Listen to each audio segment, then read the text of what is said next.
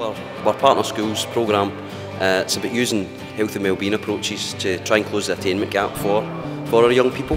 Um, it's great having AFC as part of the school community because we've proven that by having us involved it's, it's encouraging young people to come to school so attendances are up, exclusions are down um, and then we go back into the classroom they're more, they're more engaged in what they're doing which is our kind of greatest asset in this is really our, our partner schools coaches who are so much more than, than football coaches.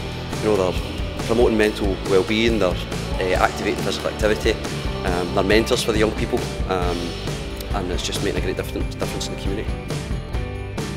It's, it's all about promoting positive well-being, you know, physical, mental, emotional, social, and the young people, we're just trying to get that message across that you need to look after yourself, you know, all your body, whether it's dental hygiene or whatever else, you know, if we can deliver that message through a more fun and engaging way, and it gets one young person to think a bit differently about how they look after themselves, and that's it's a great message for us.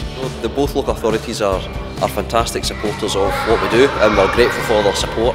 Um, and in this case, it's actually the individual head teachers who are empowered to, to essentially work work with us. So we're grateful to the support of the head teacher here and, and, and our other partners. It's, it's lovely to come down and, and uh, be involved with, with local things like this. Um, you know, it takes you takes you away from football sometimes and, and uh, to be able to get involved with that sort of thing is, is really enjoyable. So it's, yeah, it's nice to, be, nice to be part of it. At the end of the day, some of them might go on to play for Aberdeen. You know, it's a small world. Um, football's a crazy world, and hopefully we might be seeing young faces in the Aberdeen shirt. So that'd be a nice thing to see. I mean, last academic year we had three partner schools. Uh, this year we have 13 um, and we'd certainly like to have more than 20 going into to next year. So um, certainly plans to expand and get bigger and better, and it's all for the greater good of, of, of the young people and, and, and just the AFC, using the AFCs as, a, as an asset to, to improve young people's lives. It's, we're here, it's, we're, it's our duty to try and do more and help them as a, as a one club, one city team.